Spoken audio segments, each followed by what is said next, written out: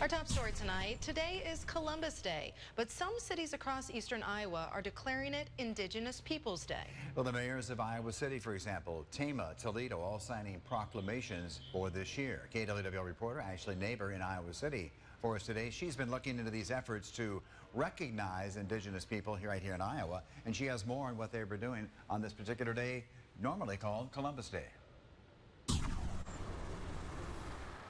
Well, that's right, Ron. I was at a decolonization rally earlier today at the Pentacrest. It was put on by the University of Iowa's Native American Student Association. And while I was there, I spoke with some from the Meskwaki Nation who tell me it means so much to them that cities right next door would make this move.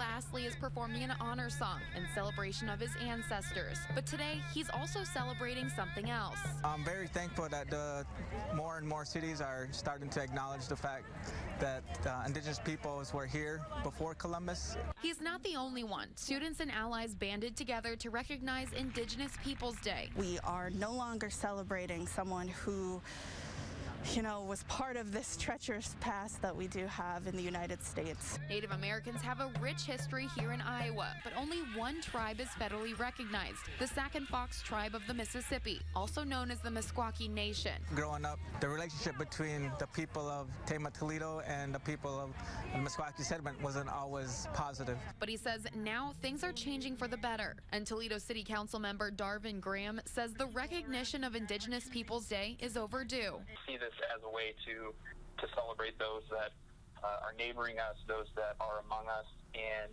it just seems like something that needs to be. Um, this needs to happen in Tama Toledo. Making the indigenous people of Iowa feel more at home. We can begin to recognize those traumas from the past and keep going forward and keep being seen as people who are alive and well and deserve to be here.